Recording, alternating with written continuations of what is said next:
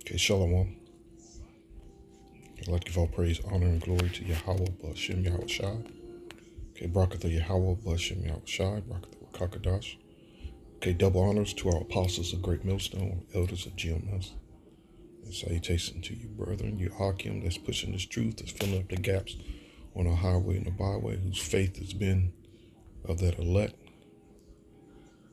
Okay, you women as well that's looking to escape the pollutions of this world and humbling yourself to learn this word. You very few. Okay, what I have here is something you need to watch if you haven't already seen it. Hell, if you already seen it, watch it again. You might catch something you didn't catch before. It's a very, very good documentary. And it's a three-part documentary. This is just one part here. What I'm watching it on, I watch it on, um, and take note of this, I watch it on uh, 153news.net.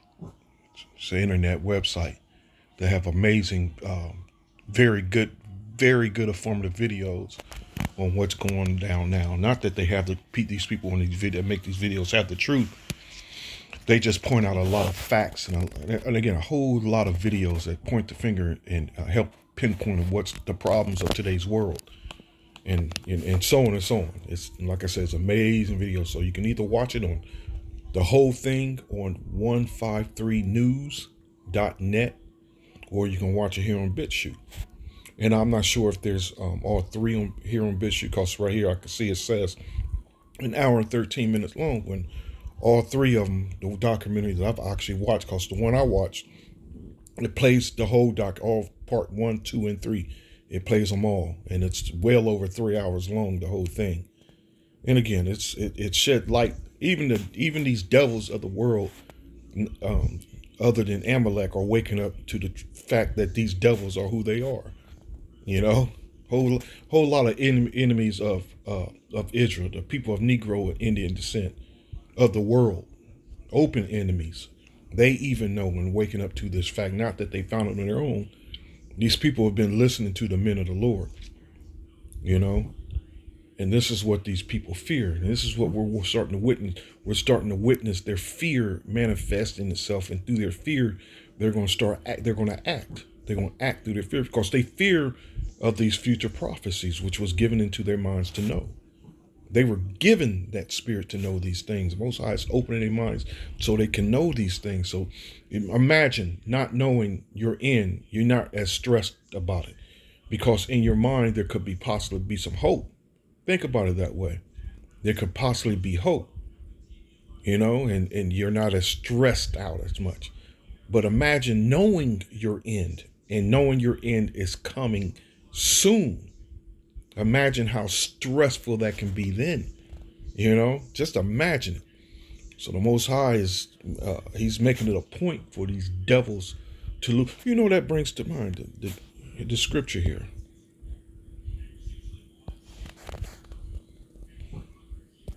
The scripture in Revelation. Which can't be stressed enough.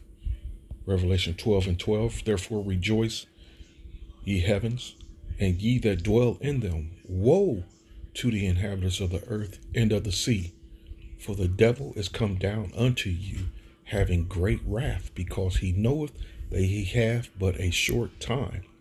So these devils have to, they have to manifest themselves as the devil. Well, what they are. Simple as that.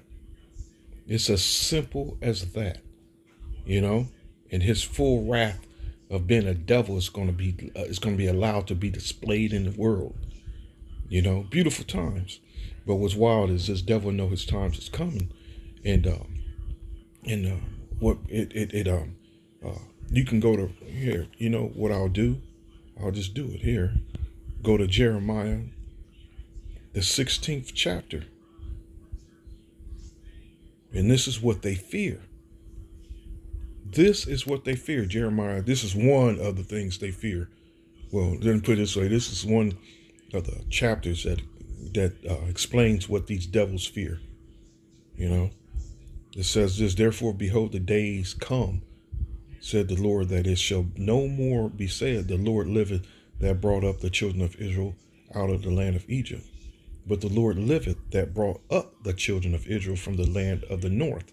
That north is North America, and from all the lands whither he had driven them, scattered amongst the four corners. That's all the other, uh, uh, well, let's put it this way all the nations on this earth.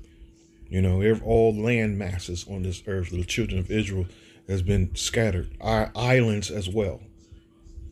He scattered the Israelites amongst these other lands and from all the lands whither he had driven them, and I will bring them again into their land that I gave unto their fathers. Not the 1948ers. that was a political move, a mili- political military move.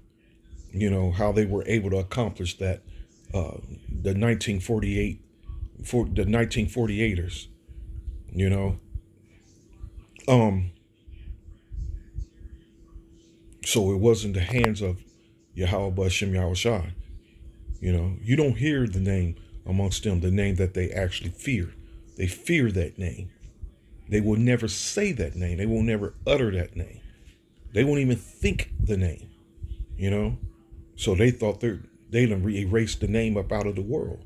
You know, but this is a spiritual thing.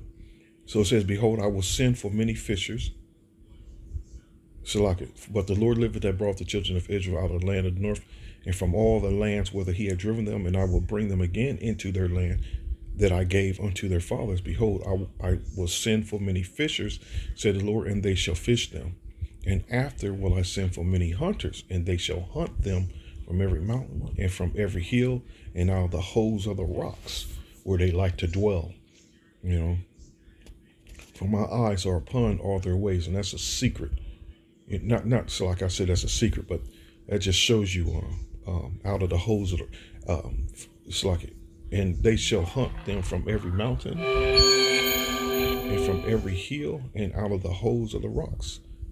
Those it brings to mind um, uh, domes, which is deep underground military bunkers, and they have them all over. You know, for my eyes are upon all their ways and they thought they they thought the eyes of the Lord power were uh, were blind to what they were doing. He thought they he see what they're doing. He thought they they really thought that the Most High was with their foul wickedness.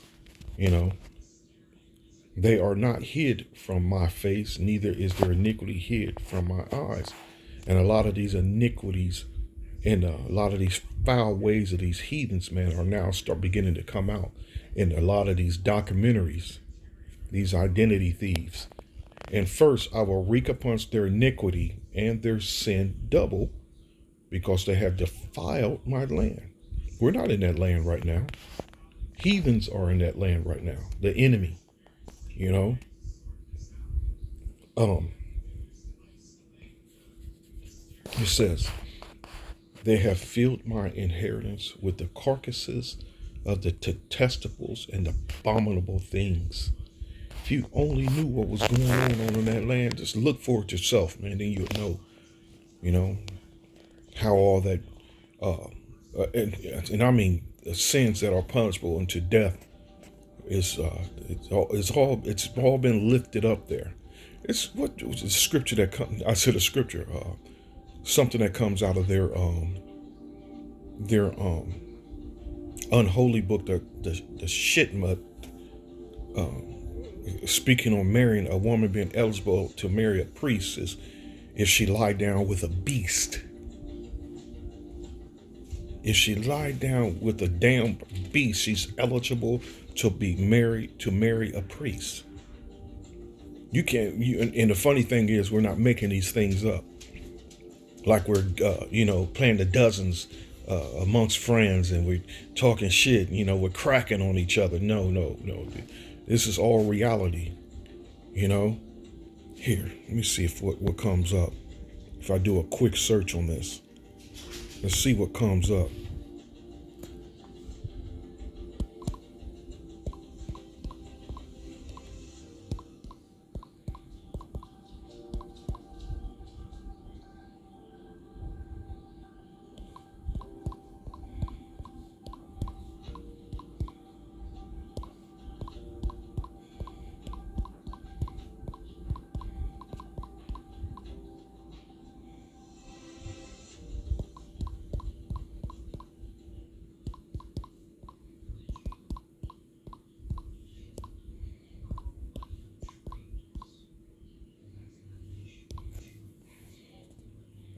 I used to have a whole lot of stuff on the Talmud, but I, I, I don't know, not sure if it's on my phone or I wouldn't know where to find it if I was looking for it anyway.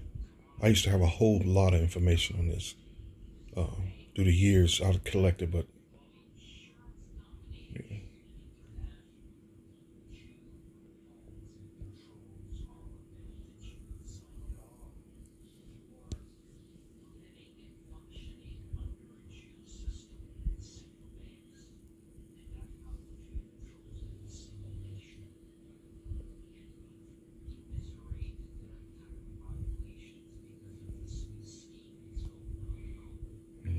this Edomite is. Here, let me see. Let me see what this says here. Talmud versus Torah. Okay, sodomy, thou shalt not lie with mankind as womankind is abomination Leviticus. As the Talmud states in Sanhedrin 54d, if one committed sodomy with a child of less than nine years, no guilt is inquired. You see, you see what he he he, he what he means by um, for my eyes are upon all their ways, and they are not hid from my face, neither is their iniquity hid from my eyes. So that means if he knows, he's gonna let us know, and we're able to bring it all out. That's how that's how the world find these things out through the prophets, man. You know, and I and first I will recompense their iniquity and their sin double, because they have defiled my land. They have defiled the land of Israel, defiled.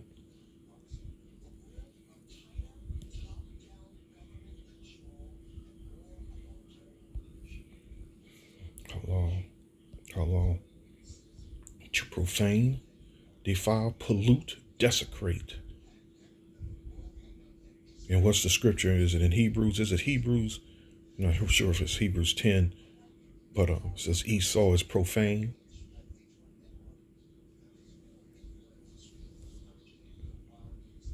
And Ammo, and Ammo is uh, one of the sons of Esau. You know, can't hide that. You can't hide that. Just continue to read some of these here. Respectful parents.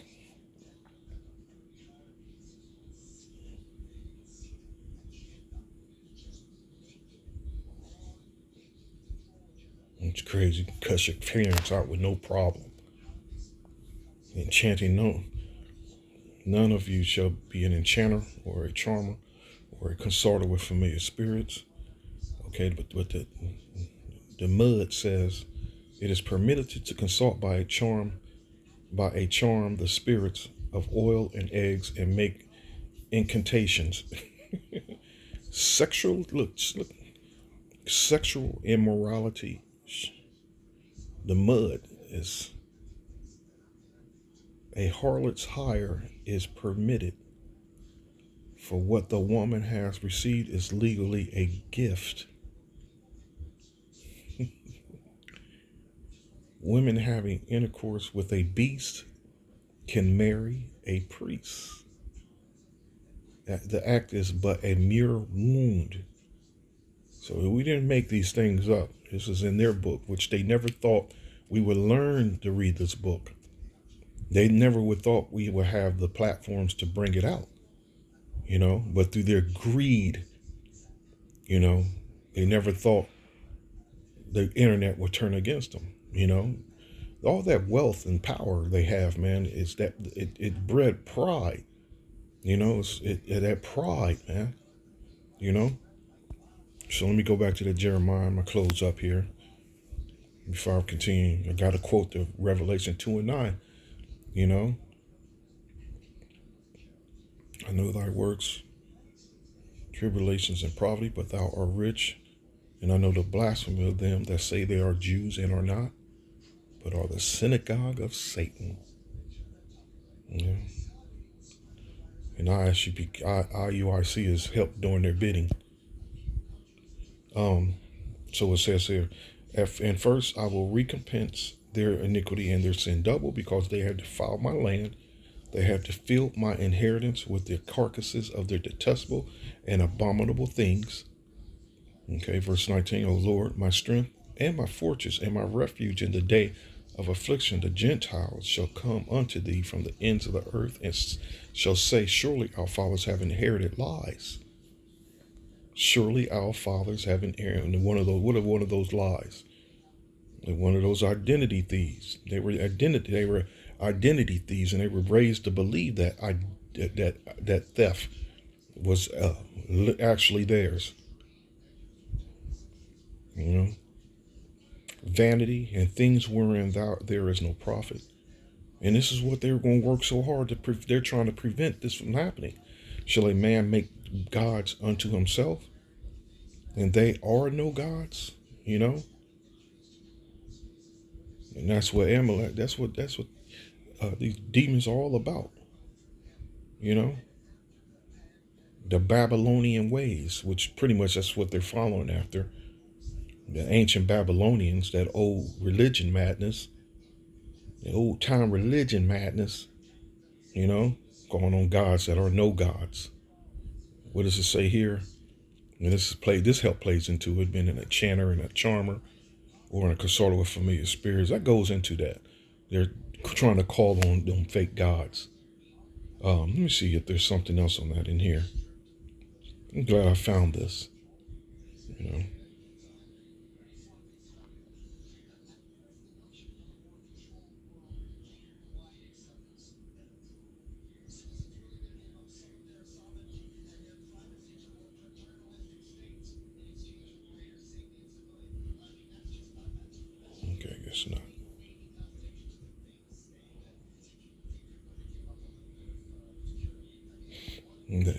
From here. Priest to.